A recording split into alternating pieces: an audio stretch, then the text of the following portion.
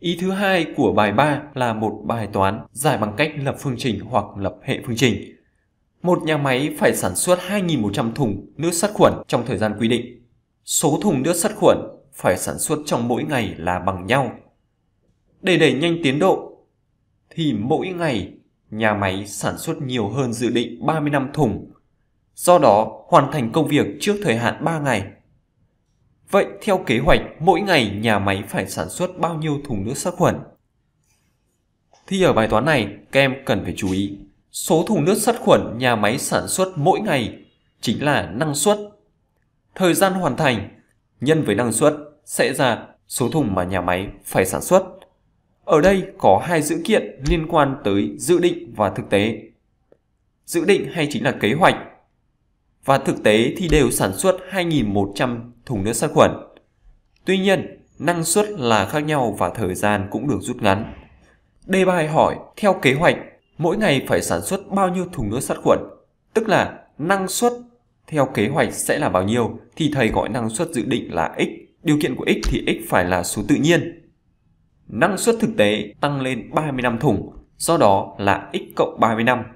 Năng suất nhân thời gian bằng số thùng, vậy thời gian sẽ bằng số thùng chia cho năng suất. Tức là thời gian dự định 2100 ta sẽ chia cho x, còn thời gian thực tế là 2100 chia cho năng suất x cộng 35. Và dự kiện cuối cùng còn lại nhà máy hoàn thành công việc trước thời hạn 3 ngày, tức là thời gian dự định và thực tế sai khác nhau 3 ngày. Tuy nhiên các em cần phải xác định là thời gian nào lớn hơn thời gian nào. Thực tế sớm hơn dự định tức là thời gian thực tế phải ít hơn thời gian dự định. Vậy 2100 phần x trừ đi 2100 phần x cộng 35 sẽ bằng 3 và đây là phương trình của bài toán.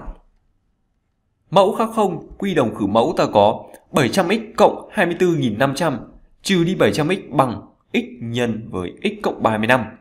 Hay x bình cộng 35x trừ 24.500 bằng 0. Giải phương trình này 1, 5, 3. Hệ số của x bình là 1, của x là 35 và hệ số tự do là 24.500.